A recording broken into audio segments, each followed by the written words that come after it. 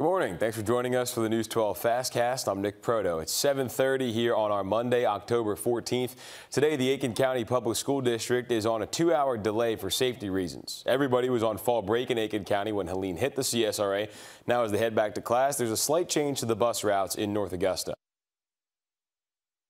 The district posted on Facebook last night saying the current conditions in the Hammond Hills neighborhood have raised significant safety issues for students walking to school or walking to the bus stop and for the school buses traveling due to low-hanging power lines, fallen trees, and debris.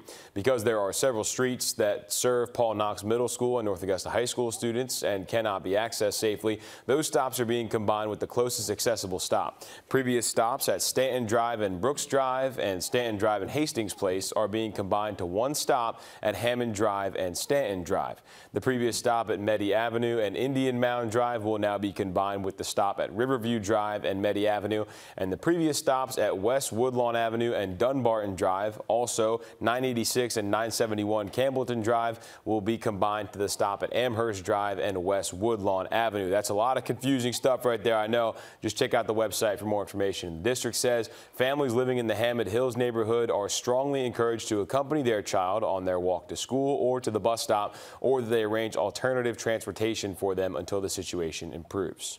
We know Edgefield, Saluda, Jenkins, and Taliaferro counties head back to the classroom today. Columbia, Glasscock, McDuffie, Orangeburg, and Warren counties have off today, but those are not storm-related uh, off days, and they head back tomorrow. Richmond and Jefferson counties are going back on Wednesday. Burke County goes back next week after their fall break.